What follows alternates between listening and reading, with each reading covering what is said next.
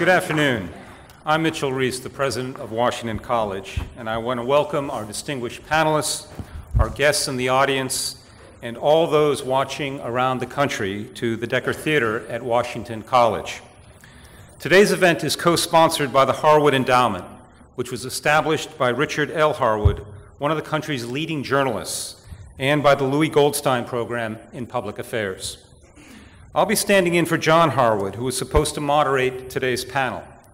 But John has been told by MSNBC to cover the president's nationally televised speech later this evening, and he sends his regrets. We are grateful that his mother, Bee, is here tonight, and I would like to thank her for remaining a loyal Washington College friend and supporter. We are also proud to claim Bee's granddaughter, Kelly Minchik, a member of the class of 2007, as part of the Harwood family legacy at Washington College. Ten years ago this week, the United States homeland was attacked.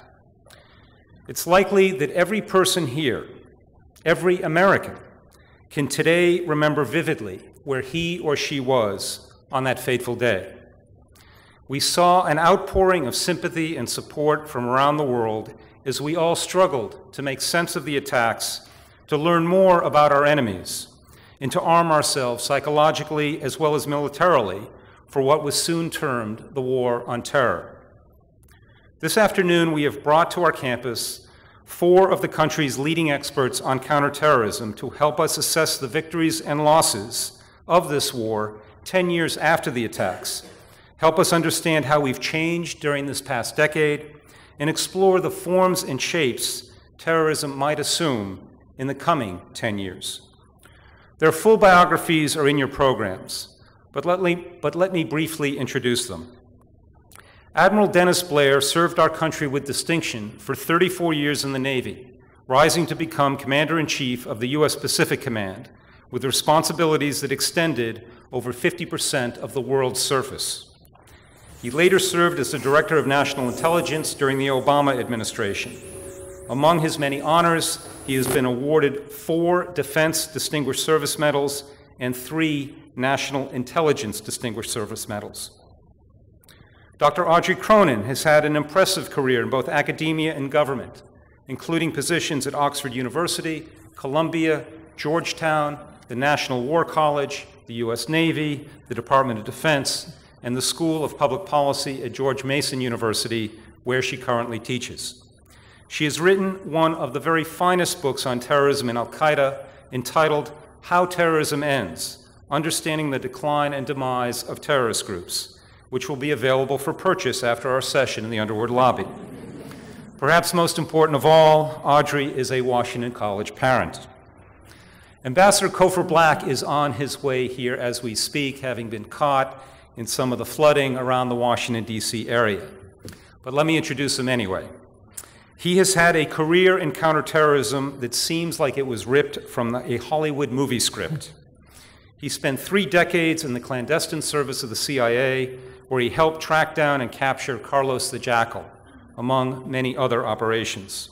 On 9 11, he famously refused to evacuate CIA headquarters, saying that this was where he belonged, whether or not another airliner was headed for Langley. He has led the CIA's Counterterrorism Center and was in charge of the State Department's global counterterrorism efforts. Many people consider him to be the world's foremost authority on counterterrorism. Dr. Sarah Sewall is currently a professor of international affairs at Harvard's John F. Kennedy School of Government. She has forged a remarkable career that bridges the worlds of academia, ethics, and national security. Among her many posts, she has served as the director of the Carr Center for Human Rights, where she helped General David Petraeus develop a new counterinsurgency strategy for the U.S. Army and Marines. She has also had previous government experience in both the Defense Department and on Capitol Hill. Welcome to each of you.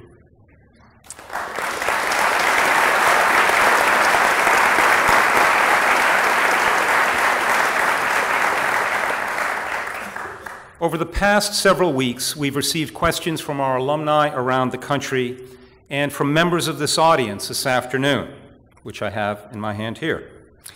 Let me start by asking a question to each of the panelists that many have raised. Are we safer now than we were on 9 11? Are we winning or losing this war? And how do we know? Perhaps we can start with Audrey first. Well, I'm going to address the second part, the question, are we winning or losing? Because the question of whether we're safer or not is actually um, a little bit different. But the question of whether we're winning or losing, I think the answer is that we are winning, but it isn't necessarily only because of what we are doing. It's also because Al Qaeda is losing. So, um, an answer to that question really has to be placed in a, in a number of different levels. The first one is operationally. Operationally, definitely there's been gratifying progress. There has been tremendous cooperation among states that didn't exist before now.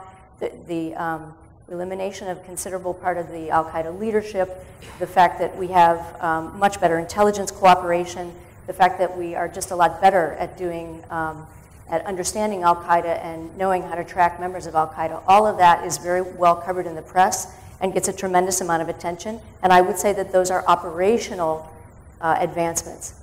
But strategically, the picture is much more uh, murky and a little bit more unclear. Strategically, I think this group is either going to implode, and we see many different um, elements of implosion with, with the group uh, engaging in a tremendous amount of infighting, with um, a deep loss of popular support within Muslim majority countries, which has become quite apparent, and with the fact that Al Qaeda itself, as a brand, and even individuals in Al Qaeda like bin Laden, no longer have the kind of appeal that they once had. So the group, in terms of its popular support, has been greatly diminished, especially since I would say about 2007 or 2008. But with respect to whether it can transition, that is, whether it can transition into a movement that takes uh, that takes a future in its hands in a place like Yemen or some other part of the Arab world is murkier because even though the Arab Spring gives us a tremendous amount of uh, encouragement, and I think is one of the key variables in undermining Al Qaeda, um, the fact that Al Qaeda was not the moving force in the Arab Spring, it was not the agent of change that it insisted it would be. Nonetheless, we don't yet know how that's going to come out. So that's the murkier part of whether we're winning or losing. I think we need to wait a little while and find out exactly what happens in places like Egypt and Yemen uh, and Tunisia, and even perhaps Libya. I'm very hopeful and I'm very optimistic, and I think actually that Al Qaeda is sidelined as a result of the Arab Spring. But it would be very foolish to um, draw a direct trajectory when things are so unsettled. Admiral. Yeah, I think part of the question has to do with the, uh, the context and understanding of, of, what it is we're up against. Um, I remember uh, I was out in Hawaii as a commander in chief of the Pacific Command when 9 11 happened. It was 3 in the morning uh, at, at that time. And of course, once it, once it happened, we all began diving into everything we knew about that uh, organization and parts around the world. And it turns out that we'd been, uh, and I was in charge of a lot of our military forces, uh, incredibly ignorant about uh, this group, which in fact had a, a uh, an Asian branch called Jemaah Islamiyah, which cooperated with it and which attempted to carry out a, a few attacks in, in future years. One that was successful was uh, the one in Bali, which killed about 200, 200 people in, in Indonesia. So uh, we didn't, we knew very little bit about this group and the, and the threat that it was. And I think that was part of the horror of it, this attack coming out of nowhere as far as most people knew, being so inventive and so so terrible. So I think what's one thing that's made us safer is that in the 10 years since, we've really whittled down our understanding of what it really is we're up against. And it's not a war on terror, it's a campaign against a group called Al Qaeda, which has a core group, has some franchises, and then has some inspirational value. So I think a very important thing in making us safer is, our, is this level of, uh, level of understanding. Um, if you look at the if you look at the facts, I guess what we're really worried about here, aren't we, are are terrible, sudden, uh, gory deaths. That's what that's what this terrorist group poses. There have been in the United States in the last 10 years that we've been talking about, 17 of those attributable to Al Qaeda. Let's put this in put this in context. Let's just talk about automobile deaths. Pretty violent, pretty gory. Half a million during that time. add in murders and rapes, another over half a million. So violent deaths to Americans, a million, due to causes which don't seem to turn us into such a, cause such a reaction. 17 from this group that we're, we're talking about. I, I think we're beginning to put this into context because that kind of discussion is, is beginning, to, uh, beginning to take place. So I think that, in addition, um, can, can make us make more sensible decisions about this as we, as we go forward. And I agree with everything that, uh, that Audrey said, that uh, our understanding of it and our ability to keep it in check at an operational level is much, much better than it was. Sarah? Well, I guess to add something slightly different in terms of an answer to the question that hasn't already been covered, because I do agree with both of the views expressed by uh, Dr. Cronin and Admiral Blair, but I guess I would, I would raise some questions about um, where we, the United States, are 10 years after the, the 9-11 attacks. And to me, I mean, it's quite remarkable the extent to which we've been able to eliminate the safe havens that we became concerned about initially, and we've been able to decapitate key leaders within the Al Qaeda network. But at the same time, we have to think about the costs that we have assumed as a society. And those come in a lot of different forms. They come in the form of the sheer economics of it and the difficulty of weighing dollar for dollar what it means to force people to put small amounts of liquid into a bag when they check onto a plane or try to screen all the cargo that comes into this country and how we will just be trying to close another barn door after the horse has left and we'll sort of chase that that infinitesimal search for perfect security at, at enormous economic cost. And it's very difficult to know where the marginal value is in that race. And we've spent a lot, a lot, a lot of money um, on things that may have been redundant and may have been unnecessary. And we're really not sure if we've done exactly all the right things that perhaps will prove in retrospect to have been important. So, there I think it's difficult to know. One thing that is clear is that the war in Afghanistan has cost us a lot of money. The war in Iraq, while not directly a response to terrorism, has cost us a lot of money. And our, quest for security and our prosecution of those two wars have collectively been significantly responsible for the financial circumstances in which we find ourselves. Obviously, not exclusively, but we're talking about trillions of dollars. And when one asks where we would be as a country in terms of our strength and our security, I think there are valid questions to be posed as to whether chasing the increment on airline security versus securing infrastructure or strengthen the economy or you know, a bunch of other things that have to do with other aspects of national security, such as economic strength that ultimately drives your ability to have a strong military and be militarily powerful. I think there, again, the record is mixed. And then I think finally I would say that we have, we have incurred some collateral damage in our quest for security uh, from a very real threat because of the choices that we've made and how we go about it. Um, again, you can debate whether or not the Iraq War falls into a response mode, but that did an enormous amount of damage to our perceived legitimacy as a member of a rule bound international community. Um, and we haven't dug out from that. And we also had some um, choices that were made from very genuine beliefs about the nature of the threat in terms of the tactics that we would use to prosecute the fight against the enemy that have also undermined the perception of the United States as a country that follows the rule of law and upholds human rights. And so I think those are also costs that have, to some degree, security ramifications that affect the way we have to ultimately evaluate our security in a post 9 11 environment. So I don't think we can just look at Al Qaeda. I don't think we can just look at terrorism. I think we have to look at how that, how our response to those very real threats also redounds and affects us and the opportunity costs that that response has engendered. I think that's the fuller accounting of, of where we are now. Thank you, Sarah. The next question follows on from that, actually. Uh, a number of people sent in questions that raise concerns over whether personal freedoms at home and human rights abroad have been sacrificed in the war on terror. Now, this is a complex area that touches on other questions about whether the U.S. should use enhanced interrogation techniques, including waterboarding, which many believe to be torture, whether we should keep Guantanamo open, and whether some prisoners there will ever be prosecuted. Could you please address the balancing act between adherence to constitutional principles and the need to defend ourselves from dedicated and ruthless enemies?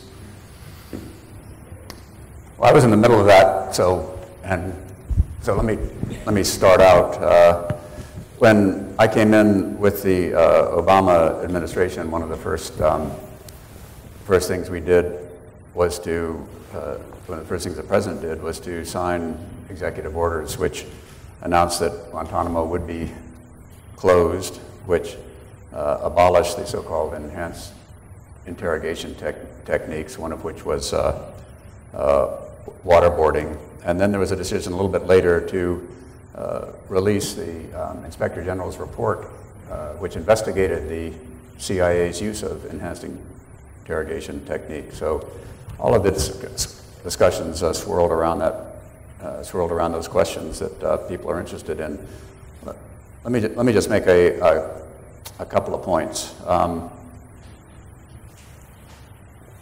it's hard to recapture the, the feelings that everybody had on September 11th, 2001, when this, uh, when this event happened. And as I mentioned, the degree of ignorance of just what we were facing was, uh, was so, so great. And the drive to get information on just how big the threat was and what we could do about it was, uh, was enormous. And so when some uh, Al Qaeda uh, terrorists were, were captured, uh, there was a great deal of, of, uh, of pressure to find out what they could tell us. Turns out that the, there's, there's no science in interrogation.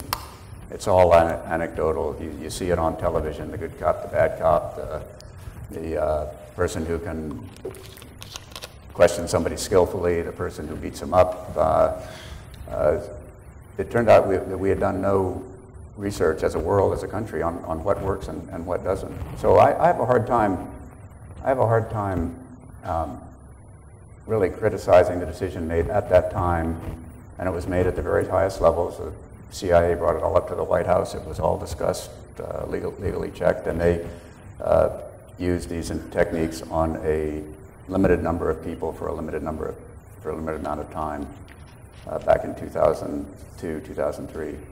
After that, we had enough knowledge that we could use the most effective form of interrogation, which is to take the information you have and and uh, and use it to get more information from ad- additional people. So, and that's what we what we've used since, and we've been very successful about it. And I was very much in favor of uh, banning those interrogation techniques, uh, using only those which are specified in the Department of Defense interrogation manual, which are, which are, which are based on military uh, uh traditions, not on, uh, not on intelligence traditions. So, so I, I think we're, we're in the right place right now. on, on Guantanamo, yeah, it should be, it should be closed. It's a terrible symbol of, of of everything that um, you know puts the United States on an equal footing with uh, with others around the world, as uh, Dr. Sewall said. Uh, it turned out it was politically uh, impossible to to do. Uh, it uh, con- Congress reflecting what they saw as the popular will uh, prevent it from happening. No one was going to have uh, have these uh, couple hundred or so really bad characters in their in their state, in their in their in, in their district. So we're pretty much uh, stymied on uh, stymied on that on that one. Um, the 200 or so people who are who are in there have been have been reviewed by uh, reviewed very carefully by a huge team of which I was I was a part, and we argued over every single every single case as to whether that person should be let out, uh, given some sort of uh, judicial process, or or kept in. Uh, about 100 were, were released and turned to their countries. About 25% of those who were released have gone back to the battlefield and are, are trying to uh, kill Americans and others uh, right, right now. Uh, so didn't get that one all, all right. Another hundred or so were, um, were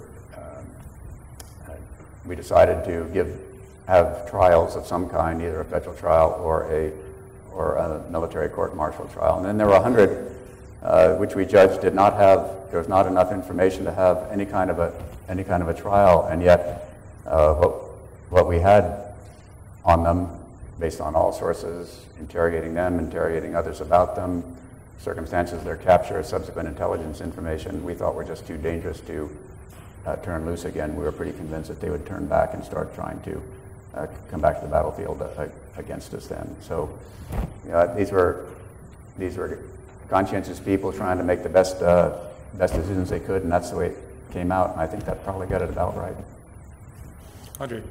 Um, uh, I'm not going to contradict anything, and, and I agree with what you've said um, as far as the, the fact that I'm very much against torture. I mean, I've always been against um, any kind of waterboarding. I mean, you know, these things are, are quite undermining of American servicemen when they're actually in a similar situation in other um, contexts. But what I wanted to say is that it's very easy for us um, as a kind of a broader public to be, for one thing, demanding perfect security. And for another thing, um, driving our own fear uh, to affect those people that represent us in Congress. I, am not trying to excuse any of what happened after 9 11, and, and I'm on the record for having criticized the, some of the excesses that this question talks about. So none of what I'm about to say is trying to excuse any of the um, abrogation of the rule of law and any of the ways in which our country has not lived up to its finest standards. But I would like to say that until we become more resilient as a society, until we become more clear about what it is that we're aiming toward to be the end of this kind of campaign, which I think is a kind of normality our normality in which terrorism still continues to exist because terrorism isn't going to go away, and in which we, we bear some level of risk. And we have to accept that we're going to have a level of risk until we, as a broader population, understand that we're a great power and we have to realize that that risk will affect us. We're going to be driving people who make decisions in the wrong direction. So um, I, I, think that where we need to be now, 10 years after 9-11, is looking forward to the fact that we are likely to be hit again by terrorists, you know, who, whether it be Al-Qaeda or Al-Qaeda in the Arab Peninsula or you name the group. I mean, it might be a right-wing group, as in Norway.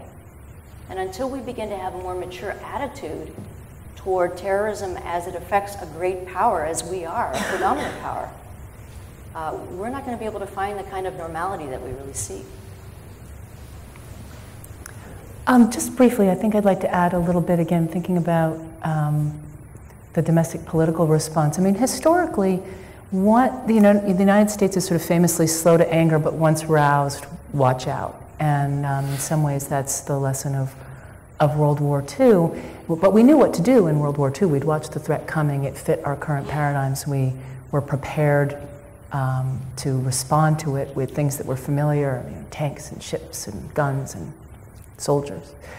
Um, but at the same time, our response also had some excesses domestically, if you think about internment. And if you think about moments when we've been frightened as a country, um, the McCarthy era, again, we tend to, um, for some period of time, abridge our deepest values because we are prioritizing security in the short term. And in many ways, and I think it's fair to say President Bush um, is on the record in regard to this. I mean, that's what our leaders believe is their first job. Um, and as Audrey said, that's what we in many ways tell them. I think the 9 11 story, as I understand it, there's a very important nugget embedded in the nation's response to 9 11, and it's not that the response was not understandable because we were frightened and we didn't, as Admiral Blair said, understand the threat. And so we were groping for new ways and we were trying to craft new rules and workarounds and labels, use different kinds of tools, fight a war a different way than we had in the past, etc. But we also lacked at that moment certain checks and balances that historically have saved us from excess. There was an enormous amount of secrecy that that veiled decision making in those days. And there was a patriotism that wrapped us up so tightly that we almost forgot to breathe and forgot to become questioning citizens. And we had, we had the media playing a role in which it was, in many ways, um, prevented from asking very important questions that, in retrospect, on many areas such as secret prisons and uh, and the Iraq War, regrets not having asked. We had a Congress that um, didn't want to be perceived as undermining uh, executive authority in any way, shape, and form because, after all, this was a war. And so, what happened was that by the grace of being spared many further deaths over the years that followed 9 11, gradually we remembered to breathe. Gradually, we got more dispersion of power and ability to disagree respectfully the different branches of government began to take different views, um, and we began to see the pendulum shift back. But I think for me, the really chastening um, reminder of 9 11 is that when we are scared, we sometimes um, lose the ability to do what, what has historically stood us in good stead as a nation, which is allow checks and balances and open, open decision making and vigorous but respectful dissent flourish, all in the name of loving your country and wanting to stay safe. And so that's, that's what I really take away from, uh, from the trying to find that balance between liberties and security. It's interesting to compare our experience with experience of at least two democracies that have been under much heavier terrorist sieges than we are, the United Kingdom from the Irish Republican Army uh, and Israel with various periods of bombing. Those, those weren't sort of one bomb attacks and then 10 years of of, uh, of no successful attacks. They were, you know, multiple attacks, lots of people killed, and, and how did those how did those countries try to keep their democratic conditions yet adjust to the, the new realities? And I think in all cases, uh, they had to come up with ways uh, to handle those which had to have a higher degree of secrecy, uh, couldn't have quite all of the safeguards that we have in a trial of a citizen for a normal crime or, or something uh, with them. So you know, we, we, we, really had one, one experience, and I think you're right, um, uh, so, sort of the more normal way that Americans approach those sorts of things reasserted themselves. Uh, if they had been sustained as they were for the UK for many years and Israel for many years, there probably would have been some sort of some sort of special arrangements made uh, that sacrificed and we may see that. Things. Yeah. yeah. Well, can I, can I push you just a little bit further? Uh, Sarah and Admiral Blair and I were at a conference on security in Colorado in August, and um, there were some very senior former officials who were speaking, and they said that waterboarding had only been used on three uh, Guantanamo um, prisoners, uh, that there had been none, uh, none of this had taken place after 2003 and they, they argued that valuable intelligence information was actually extracted from them. Um, again, that, that's sort of a mixed message in terms of civil liberties, security, uh, but perhaps it suggests, if you focus on the timing, that maybe we've already reasserted the checks and balances, Sarah, that, that you were talking about. Yeah, the tragic thing was that we don't know whether we could have gotten that same information without the, without the waterboarding. It's an unknowable question. When I looked at the uh, when I looked at the scientific research on the on the subject, nobody knew what would work, and so when they when when the interrogators didn't have didn't have luck for the first uh, few months that they tried it, they turned to these uh, these techniques. Had they been more skilled, had they had they uh, persisted uh, for using the uh, using the techniques they had, they might have gotten the same information the same way. And I, I agree completely that it would have been a heck of a lot better because even, especially for a country that has as high ideals as, it, as we do, when you have a few instances in which you don't meet them, they're well publicized, they're, mm-hmm. they're, and you, you, pay a, you pay a much higher price, price for them because you're on a higher pedestal, you have further, further to fall. So it would have been much better had we not, uh, had, had we not had to use them, and I don't think we'll, we'll ever know if um, it could have been gotten any other way. I think we should also realize that some of the information that came out was misinformation and a lot of, uh, and this is all in the open press, and you know, a lot of the scrambling that we did as a result of things that were, uh, came out of these sessions were wrong.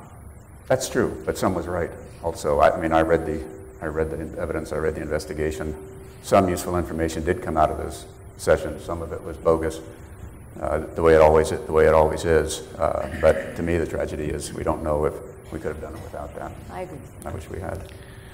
Next question has to do with General Petraeus, who said that we will not be able to win the war on terror simply by killing or capturing all of the terrorists who hate America, suggesting that the United States also needs to have a strategy of reaching out and engaging the Arab and Muslim world. Do we have such a strategy today? And if not, what would you recommend to the administration? Sarah. Sure. Um, no, we don't have a strategy like that. Um, we don't. And you know what? We also don't have the resources to carry out a strategy like that. And part of the reason why we don't have re- the resources to carry out a strategy like that is because we have we have framed this as a war and we have fought two wars and we have no more money and we're in an economic crisis. I mean, to uh, to Dr. Cronin's point earlier, you know, a big piece of the way the story will be written decades from now is going to hinge on how many of these countries in transition now turn out. And you know, I can guarantee you that we're not going to like everything about how the, the governments lead in these countries, about the way, the kinds of law that they enforce, about the kinds of allies that they choose, about the foreign policy positions that they take. And yet, if you step back outside of our immediate labeling of um, of ideology and policy and orientation and ask what's the biggest challenge? It's to show that there can be competent, responsive, growth generating, moderate, Muslim led governments in the world that can be responsible players in international politics, that can provide avenues for growth and for jobs and for security and for self respect and all those things that are part of a backlash of globalization that underpins the ability of an extremist message of any form to generate uh, uh, and, and gain traction in, um, in the world. And so uh, our ability to, you know, as we talked about, about the ways in which America's moral authority has been at least temporarily eroded, We've talked about the economic, the lack of, of tools and political will that we have now to, to engage in non military ways. Um, if you think about um, what it means to sort of bet on moderate alternatives, we're pretty limited in terms of what we can do. And oh, yes, we're in a geopolitical environment in which relative power is changing among other states. So we, we may be limited in a, in a macro systemic sense as well in terms of our ability to affect outcomes. But our, our hope ought to be to engage um, moderate Arab governance and support it. And yet we can't do it directly because we will discredit if we do it too directly. And we can't do it without resources. And we can't do it without the political space to let these countries um, take positions that we may not like in the short term because they're going to need to be, after all, responsive to electorates because we preach that we want these states to be democratic and responsive. And so we're going to have to tolerate what it is that publics that are very different than ours actually support. And so as we try to manage that relationship, I think it's going to be a very delicate and trying time, and we're going to have to fight our own domestic political reaction um, in the midst of being um, hopeful about and tolerant of, of these transitions. There's another important thing that just underlies all of this, and this is getting off oil. Uh, it just, we have just, th th these would be sort of interesting little countries having problems were it not for the half of the oil that we use in this country coming from that, coming from that region. And we are, we are over 50% of our, of our oil comes, is imported. Uh, the great bulk of that comes from the, uh, the Middle East, and that, that's what has tied us so close to that region so that we even care what goes on there. That also has allied us with these uh, governments who, under normal circumstances, we would have nothing to, nothing to do with. The Mubaraks, the Saudi, Saudi Arabian, uh, Saudi Arabian monarchies, the, uh, the uh, other oil, oil producing states. And we have the means to solve this problem not by sending troops over to, over to the Gulf, not by forming military alliances and selling lots of arms to these countries, but by, by conservation and by increased production here at home and by transitioning to electric vehicles, which we don't have to power with oil. And I, I'm astonished by the lack of understanding of this connection and, and the, the lack of uh, emphasis on doing something about it, about it here in view of the tremendous uh, sums of money that we pay, the, the, the blood of our 6,000 servicemen who died over died over there as we send, send uh, troops over there. The half of our trade deficit, which we, which we send to uh, that to oil exporting, uh, exporting country. And as Dr. Sewall says, the sacrifice and the value is what we think is important by having to cooperate with these thuggish regimes. So, you know, that's, that's something we ought to, ought to be doing and, and, and should have been doing for a long time.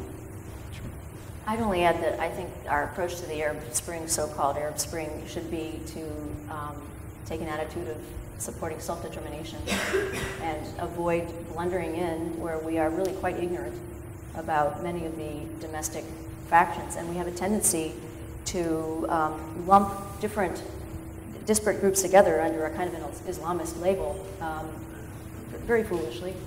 Uh, so I think, you know, a strategy to engage the Arab world is as much what not to do as it is to, what to do right now. Thank you. I want to formally uh, welcome Ambassador Cofer Black to, to the podium. Uh, welcome, Cofer. I understand you've been uh, trying to brave the elements, but we're very grateful that you're here. And uh, welcome. Um, and so now we're going to put you to work. Um, many people have argued that we've had the intelligence we needed prior to 9 11, but we could not, quote, connect the dots, unquote, to prevent these attacks. A decade later, with all the advances in technology, we now have many, many more dots. But are we doing a better job of connecting them? And related to that, given our ever increasing reliance on technology for intelligence gathering, should we invest more attention and resources on human assets? Holy cow. I should have stayed in the car. I spent, uh, this was a land speed record. I spent approximately five hours getting from Northern Virginia to here, but I won't bore you with the details. That's one of the most complex questions I've ever heard. I, could, I would expect no less when, from uh, President First of all, this is me personally. I would love to meet the congressman that came up with the connect the dots phrase. I'd like to meet him in the gym. I remember a cartoon uh, in a newspaper somewhat after 9/11 where there's a you know, figure of a CIA guy on the left and an FBI guy on the right, and there were three dots. You know, and they're going, geez, how to do this? First of all, I think it's very misleading connecting the dots. You ask Admiral Blair. Um, even before 9/11, the um, our technology, comparatively to these days, our technology was much lower. We didn't have a lot of the mining tools that we have now, but the um, the wealth and the universe of details and facts that um, was left to be exploited by highly trained analysts was really kind of out of whack. What we're expected to do was um, awesome, and these people did a terrific job. But over time, you know, there are going to be times when you can't keep up with everything. So I think a compensating factor for that has been technology. Um, I think it's worked very well. This country, uh, particularly, has spent an awful lot of money on new tools and on intelligence, and I think we're a lot better off because of it. I think one of the next questions will be, um, you know, how much is enough? At what level do we feel that we want to sustain uh, the resources used to conduct um, operations and collection against terrorist groups? Um, I do think that um, we talked, overheard the conversation before a little bit about oil being very important and the Arab Spring being very important. And I do believe that, this, that the success and the contribution that the United States and allies can make is being well informed, so they need good information, and then make good decisions uh, and, and uh, act and cooperate with our friends overseas in a way that's cost effective and sustainable over time. You know? And I think if we do that, that we'll be able to, to um, achieve a good place into the out years. I think there's been some zigging and zagging. I personally am a plank holder to we didn't spend enough money and we didn't have enough people before 9-11. When I can go into that, it's kind of an amazing story. How few were protecting so many. It's kind of the reverse of the RAF and the Battle of Britain. Now we've gotten to a much better place. We've got lots of people, ODNI, Admiral Blair, greater cohesion among the various different agencies. So I think we're heading in the right direction, but I do think we have to do this at a sustainable um, cost in terms of money uh, and in terms of uh, emotional investment, certainly of the American people.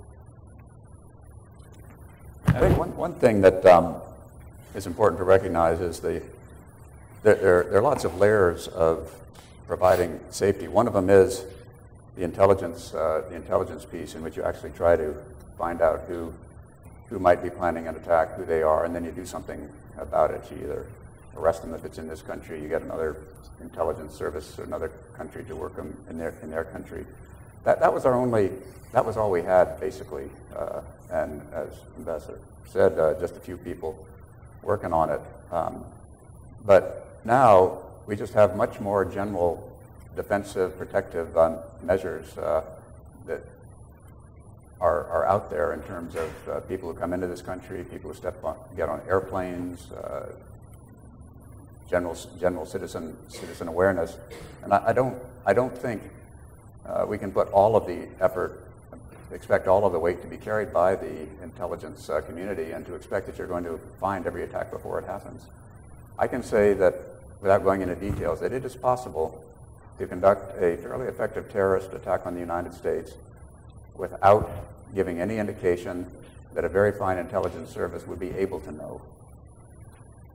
I mean, intelligence could operate perfectly, an attack, a successful attack could be conducted if they were clever enough and if they were smart enough and they, they took enough took enough time. So you cannot expect intelligence to carry the entire weight of this thing. You have to have everything from uh, smarter smarter systems for uh, checking out uh, people who fly on airplanes. Now that we know how dangerous they they are, you have to put the defenses around uh, facilities that can have a terrible uh, effect if they are if they are uh, blown up, chemical factories and, and, nuclear plants and, and so on.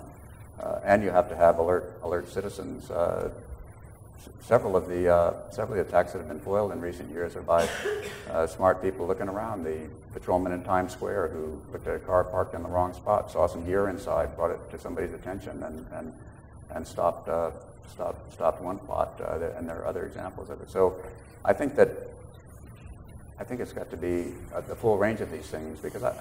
I think we're, we're now in a world in which globalization, with all of its availability of knowledge, with all of the effect of, me of media has made the sort of terrorist attacks for anybody who has a, uh, has, has, a twisted mind and a beef uh, a possibility, whether he's a student at Virginia, Virginia Tech or a, or a disgruntled, uh, dis disgruntled uh, person in Norway or, or a, uh, uh, somebody who doesn't, doesn't like the American government. so I'm afraid we're in a world in which we're going to have to be more careful in general, and we're going to have to know a lot more about uh, U.S. citizens and foreigners just in order to avoid these, uh, these attacks. Next question. What is the risk of terrorists acquiring WMD, weapons of mass destruction? And I'm told to have the panelists please be specific in your answers with respect to nuclear weapons, chemical weapons, biological weapons, and radiological weapons. It's another easy one for you. Don't all volunteer. How do you do this? Do you volunteer or? You- yeah. do you- do you- Or we I feel very I much like volunteer I'm you. right back in school again on the front row, to be pointed at, you know? I can volunteer you. Why don't you go ahead, Okay. Cofer? So, um, uh, You know, recently, we used to use the letters CBRN. And uh, uh, it would stand in the rank order, chemical, bacteriological, radiological, nuclear, CBRN. And that was ranked order in terms of the probability of um, uh, an operationalized attack against the United States. My own personal view, I think this has changed around a little, a little bit.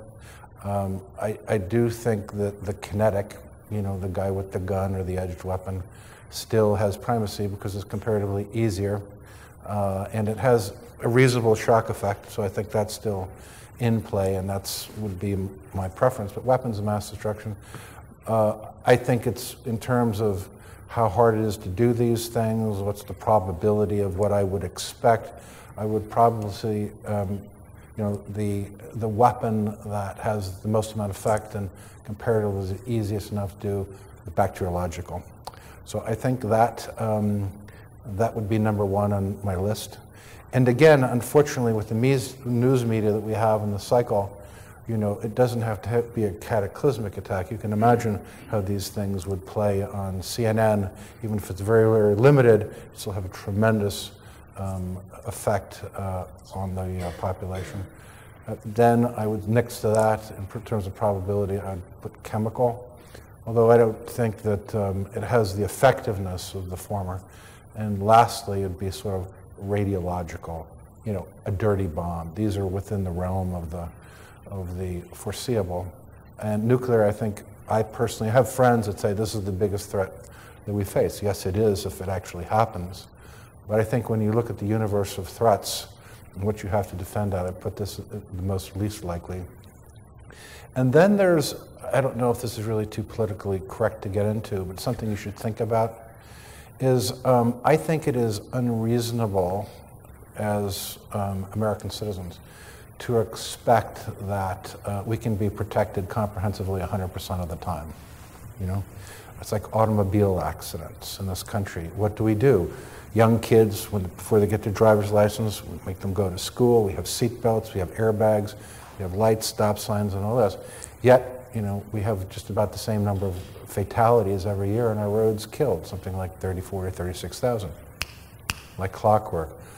Well, you know, we could bring that number down if we made cars only go 35 miles an hour. Everyone had to wear football helmets. So a decision was made in here, okay?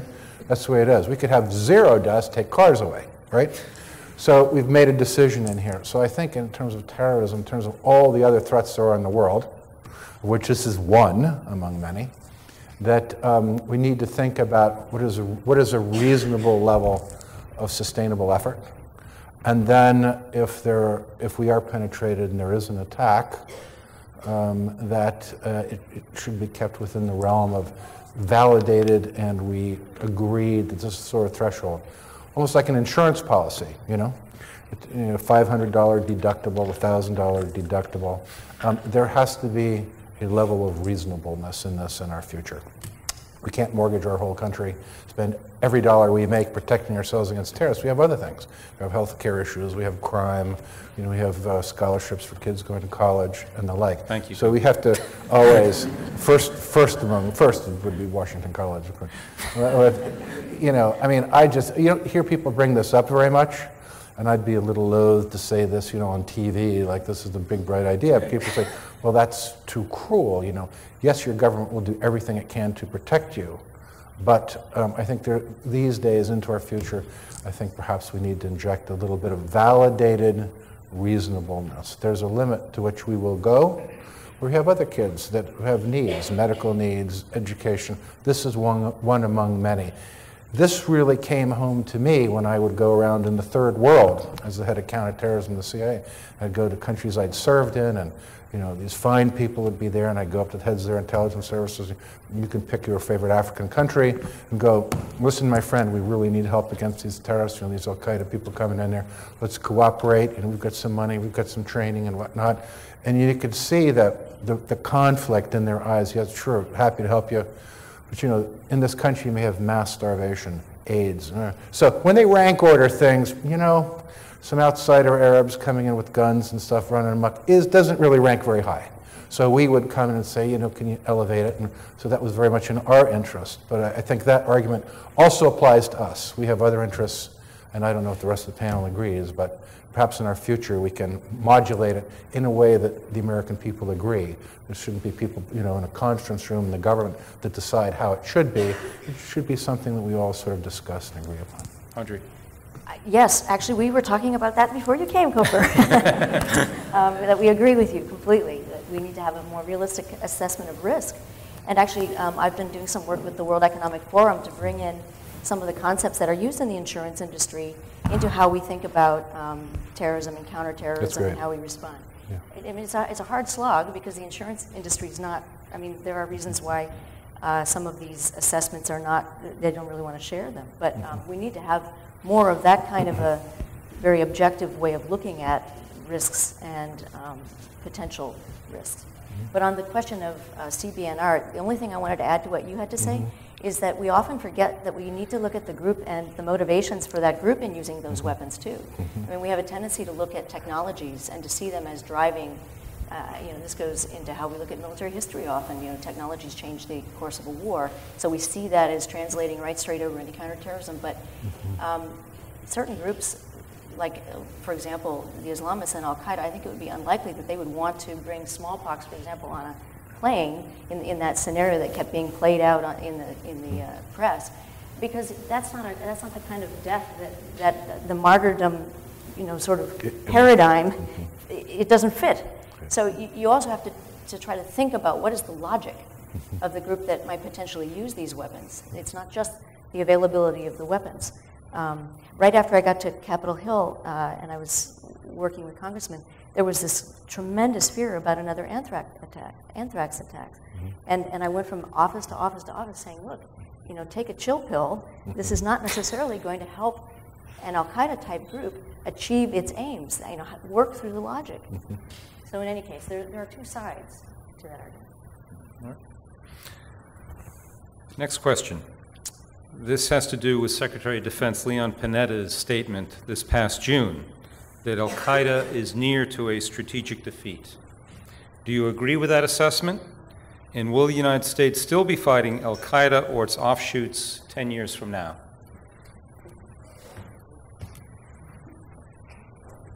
Well, I can, I can start since I wrote an op-ed that disagreed with that point of view, so I might as well, might as well repeat it. I haven't changed my mind in two weeks. Um, But uh, the, I think the defeat of Al-Qaeda to me means, and Cronin's written books about it, I think it, I think it means that you have scattered individuals who have who have beasts that may have an Islamist uh, basis to them. You don't really have an, or, an organization that is passing money and training and planning around and, and making coordinated making coordinated attacks. You're, you just have a bunch of uh, disgruntled in, in- individuals. Um, to get to that to get to that stage, uh, I believe that uh, we have to go beyond our, current uh, tactics against Al Qaeda, which in, involve a lot of offensive uh, action involving intelligence, uh, intelligence services, uh, ours and ours and others. Uh, I think we have to get at the um, the fundamental causes in, in the countries that breed people who seem to flock to the Al Qaeda banner, whether they be in Egypt or in Yemen or in, or in Jordan or in, or in uh, Pak- Pakistan. Uh, and I believe we have to uh, we have to work with the, the countries there, not just on combating terrorism, but on the but on the uh, uh, on, on the conditions that motivate people to uh, to join those those organizations. So, I think to get to that next stage, we have to take a different approach to to things. And I think as long as we are continue the main force of our effort on on uh, putting up names on posters and then putting red, X, red, red X's through them, we're not going to get that get to that next uh, stage. So I, I don't think we are I don't think we are uh, within that much of defeating Al Qaeda using our current tactics. I think we have to go into a new set of uh, a new set of uh, uh, approaches to it. Sarah.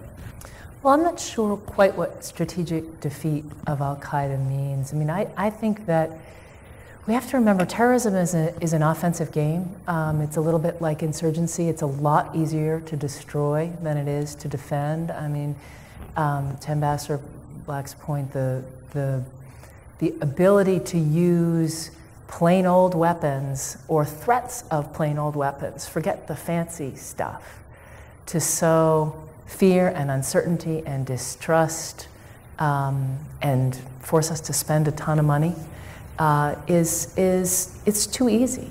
And there will always be people inside, outside the United States that want to do that. So I think, I think terrorism is with us to stay. I think Al Qaeda as Al Qaeda will undoubtedly, and I defer to Dr. Cronin, but morph into different forms. But it's, it's already sort of touched and franchised enough that when we talk about the defeat of Al Qaeda, do we mean the defeat of, of, of of any, you know, Salafist group that has a broader vision or any Salafist affiliated group that just simply wants to destroy international order as we know it. And I just, I don't see this going away. I think this is, we are in a new world of threat management and whether we're talking about, um, I mean, this is not just terrorism, it's also our dependence on cyber and the, and the ease with which, we haven't even talked about this, but the ease with which non-state actors or, or any, any actors um, can basically mess with us through, through uh, a wide variety of means. We are, we are on defense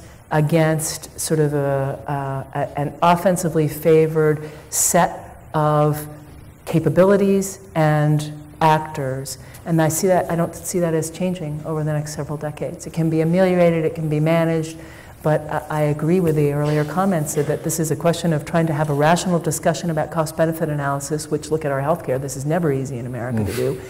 And it's, and it's a question of trying to be more resilient um, and prepared for the realities that we'll face.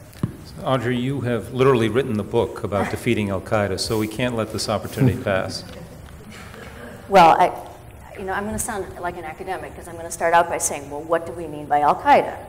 You know, if we're talking about the core of Al Qaeda, yes, strategic defeat, I think, is achievable. If we're talking about this idea of Al Qaeda and, and some of the local groups that bring the name Al Qaeda and try to associate themselves with Al Qaeda, there we have to be very different.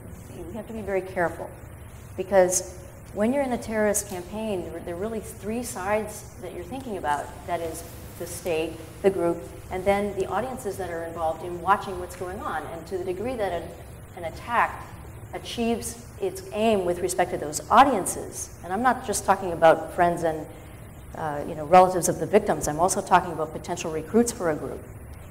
To the extent that a group is able to achieve what it's trying to do with that audience, it can perpetuate itself.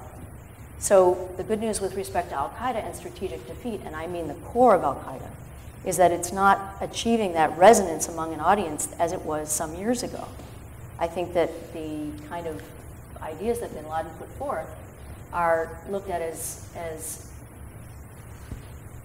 getting close to being anachronistic now, and because you have a tremendous amount of inspiration that is taking that space um, that we call the Arab Spring, and it, it takes different forms, but it's, there's a new movement that Al Qaeda has been sidelined from. But part of whether Al Qaeda has strategic defeat depends upon us as well, because when we're talking about local affiliates like AQIM in the Maghreb, or AQAP in uh, Yemen, or you know, you name it, Jamaat Islamiyah, Abu Sayyaf, I mean, there's a long list. Some of these groups are groups that have had long lives and have had previously local aims, and they've named themselves or renamed themselves Al Qaeda. And so we swallow that and we say, oh, it's Al Qaeda.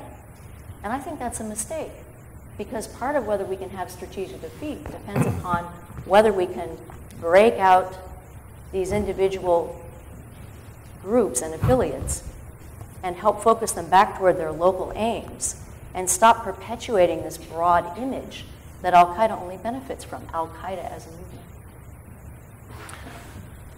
Cofer, the next one is for you first. Both the Bush and Obama administrations believe that there needs to be a worldwide effort to defeat violent extremism.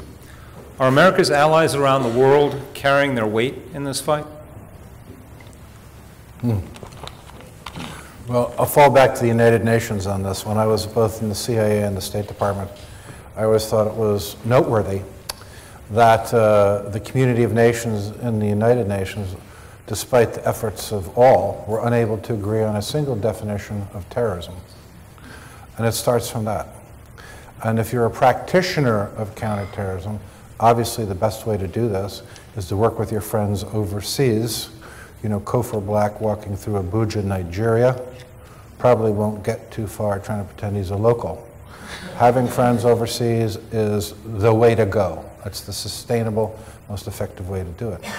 But each country, at least uh, up to my current knowledge, had its own sort of view of A, the threat, what's important to them, as I referred to a little bit earlier, B, um, who really are the terrorists of concern to them.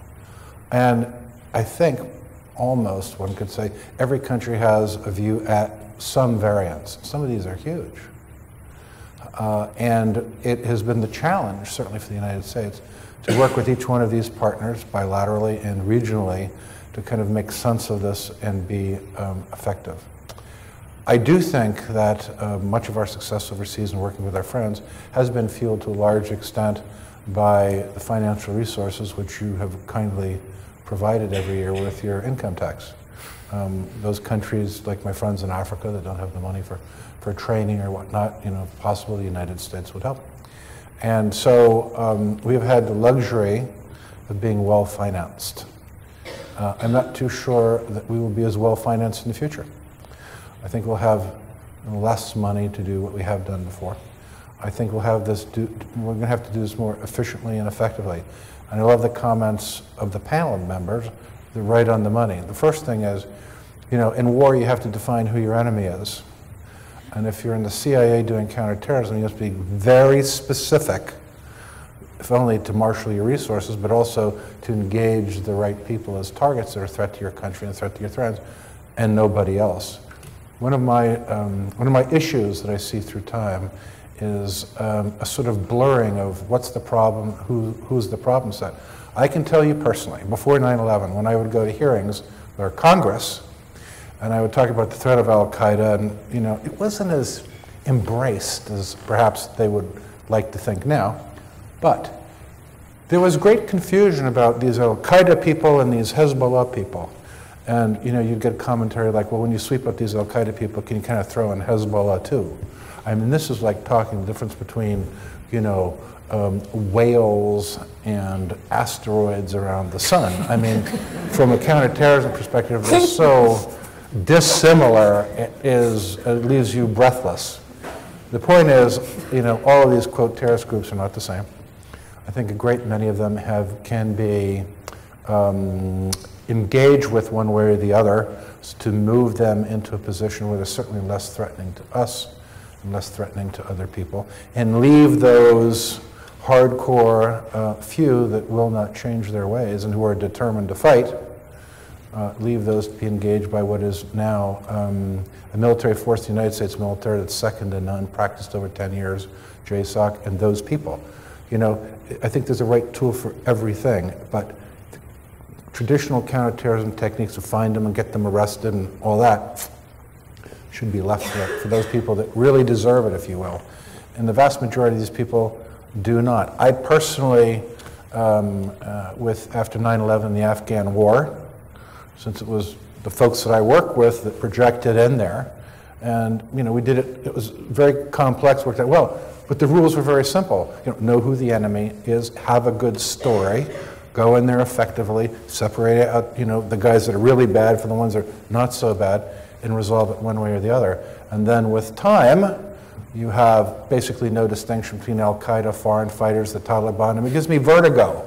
So the same people that I bribed to let us get at the Taliban, we wound up fighting. So what I'm saying is, you know, if you go into a bar looking for a fight, you know, Isolate the guy you're going to go for and try and keep everyone else away. It shouldn't be going to the bar, declare combat with everybody and see what happens.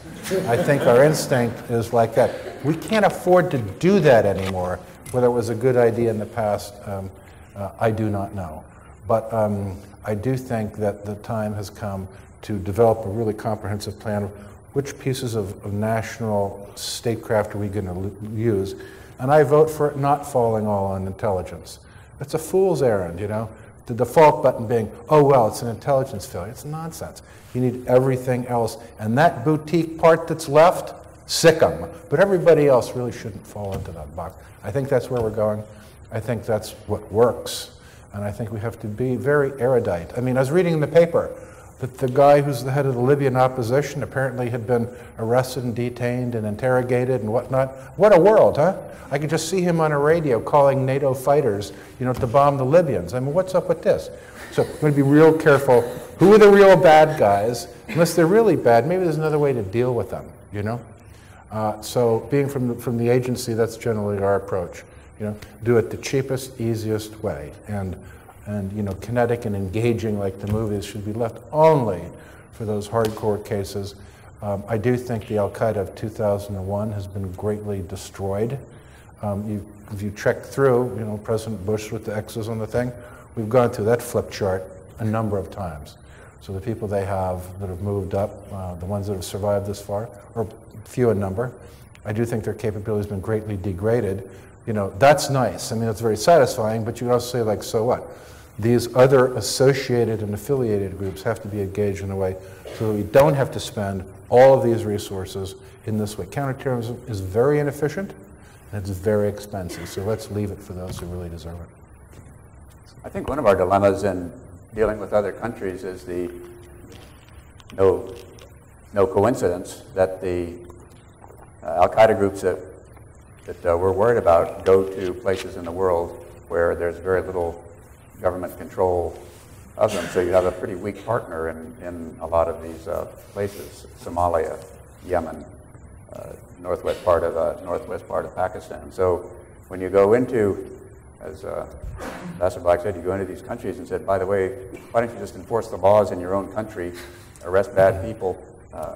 You find that uh, there, there's, just large portions of Indian territory out there where the host country is, is not enforcing its own own laws, and then you then you have to uh, figure out, okay, what do we do under those uh, under those uh, circumstances? And you generally do pretty short-term things to take care of immediate immediate problems, whereas you know in the back of your mind that over time the only long-term solution is for these countries to establish basic uh, services, justice, administration of various kinds, make the people who make their citizens who live in that part of the country uh, want to throw in their lot with the government, not uh, not want to be out there on, their own. But uh, in places like uh, Somalia, northwest Pakistan, eastern, so, southern, northern uh, Yemen, uh, parts of Afghanistan, that's a that's a long a, a long way to go. Last question for our panelists. Looking ahead, what worries you the most about the terror threats we face? Why don't we start with Sarah and we can just go right down the panel? What worries you the most? What keeps you awake at night? Um, at the risk of sounding off topic, um, right now, what worries me the most is the political discourse in this country because if we can't have a rational conversation that's fact based and reasoned and involves compromise, then we will not be able to make the decisions that we need to make as a nation to stay strong in all aspects of staying strong. And, um, and I don't believe that, that partisanship has to stop at the water's edge, but I do believe that there has to be a basic level of, of comity and of empiricism and of and a valuing of compromise as part of a democratic process as opposed to seeing it as a weakness of character. Um, and that's what worries me the most right now in terms of our nation's ability to respond to any threats in the future, including terrorism. Thank you. I, I think uh, Sarah's point is, is the right one, but I would phrase it, uh, phrase it slightly different. I, I think that terrorists is not the and this is true when I was DNI, was not the number one thing that worried me about long-term real threat to the really vital interests of this, uh, of this country. That was pretty petty ante compared to the uh, competitive uh, challenge that China was, uh, was throwing at us in, in many areas, the, uh, the risks of, uh, of the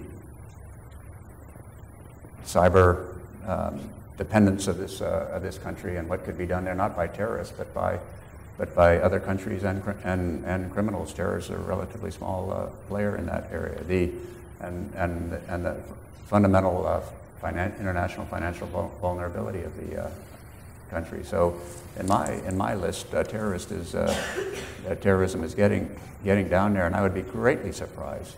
I, greatly surprised if anything on the scale of 9 11 could be could be uh, done again in 20, 2011 or, or, or later. I think the terrorists have been reduced to being able, just being, Al Qaeda has been reduced to just doing uh, small, uh, small scale attacks, uh, twosies and threesies uh, at the most.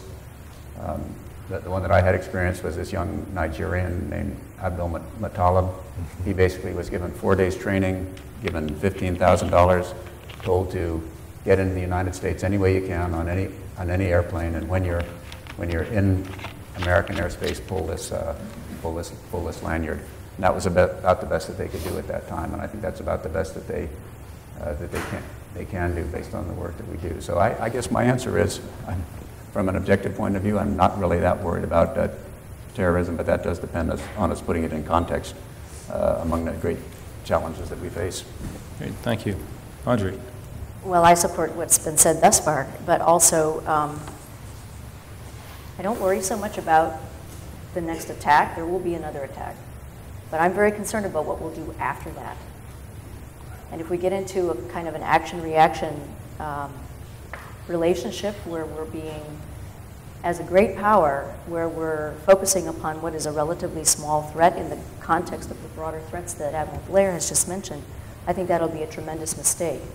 I worry about the fact that the United States is struggling very hard to have a broader sense of a grand strategy or a, a balanced strategy for a great power in terms of its economy, even in terms of its regional strategies, in terms of how to withdraw from Afghanistan and Iraq. I worry that we've greatly strengthened um, Iran and the, uh, the influence that it has in the region. That has been one of the outcomes of what we've done in both Iraq and Afghanistan. We need to think very hard about what implications that would have for us with respect to our dependence upon oil and um, our presence in that region, which is unfortunately um, compulsory. I don't think we have a broad strategic approach in the way that we did through um, some of our more mature years of the Cold War. Not that we need to have another Soviet threat and try to foist that kind of thinking upon ourselves, but I do think that we need to stop obsessing about the risk of terrorism. Thank you, Audrey. Cofer, last word. Um, I agree with everyone. I would just say from my personal perspective, um, you know, um, we Americans sort of have this sense that anything worth doing is worth overdoing. And um, uh, I can tell you before 9 11, it was very difficult to sell the threat of Al Qaeda to this, this nation's leaders or to the media or to the Congress or you know anybody else. Very difficult. Um, yet, with the cataclysmic event of 9/11, it was sort of like uh, everyone was, was in shock. I would exclude my people since they had been warning about this type of thing happening. But they were in shock, and all of my problems, except the enemy, all went away like that. Before I used to go up to OMB and you know, I need money, and they'd say, well, I need to buy jet fuel for the Pacific Fleet, we're low, and one thing or the other. Didn't get much money, not more authorities. It was unbelievably frustrating. Talk to my wife, she'll tell you. I mean, it's like, like, you know, we're not dumb, we can see how this is coming, so it's very frustrating. But the, it was the contrast of my life from before 9 11, you know, where we had plans, you know, the Afghan war plan, the worldwide attack matrix, and we, then after 9 I have got to tell you, it was like the clouds opened, the sun rays came down, the heavenly choirs played, no problem with money, no problem with authorities. It was unbelievable. And it was the right thing at the right time to buy us time. But I do think that um, we need to decide what is really important to us. And I agree with the panelists. As an intelligence officer, my beef, and I admire Admiral Blair having lived through this, but perhaps things have changed, and maybe he'll enlighten us. But my observation was um, I never found leadership in the agency that would ever say no to a customer. And so, therefore, you're responsible for everything, everywhere, all the time. And you're expected to be able to surge in excruciating detail spent most of my career in Africa. You know, you're doing terrorists and, you know, Chinese missile issues, and then it's, you know, the African lakes problem in Africa. Well, how come you didn't know about this? The, in my view, this has to stop. We have to decide what we want. You know, you want to buy a Corvette or do you want a station wagon? You know, you don't get the whole fleet of cars all the time. And I think we need, we, we as a country need to come together and do that. I also, having spent a lot of my life on counterterrorism, I mean, because that's what I do, it's very important to me. But if you put that in conjunction with other uh, catastrophically uh, challenging problems, um, I don't think it's, it's not number one. It may not even be at the top. Um, you know, there are a lot of, a lot of ways to get hurt a lot more than a small group of terrorists that make it through a pretty good filter. So I, I, my wish would be, and I'm very optimistic for you. You have a great future and you have great challenges ahead of you. And you will be tested, and I know you'll do extremely well. But we have to decide what is important to us. And, you know, all pigs are not equal. You have to decide what you're going to do and then go do it and do it as well as you can. And I think the terrorism thing now may be going down a bit, and as the panel suggested, there are other ways to engage these targets. And whenever people talk to you, at least in counterterrorism, start saying, interchanging words like terrorists and insurgents and guerrillas, that's where you hold the phone. You know, these are, these are not the same thing. You know, insurgents and, and guerrillas, com- completely different. I would suspect even the CIA supported some somewhere, but they don't support terrorists. It's a different kettle of fish. You got to know what you're talking about. You got to know who the enemy is. And uh, I'm very optimistic. We have challenges ahead, but uh, also encouraging political discourse in this country is crucially important. So, you know, keep keep your congressman and congresswoman in tow. Write them letters, tell them what you think, and, uh, and drive on. Well, thank you. This has been extraordinarily rich and insightful uh, conversation with uh, the most experienced and knowledgeable folks I, I could find, and uh, we've all benefited greatly. So on behalf of all of us at Washington College, please join me in thanking our panelists.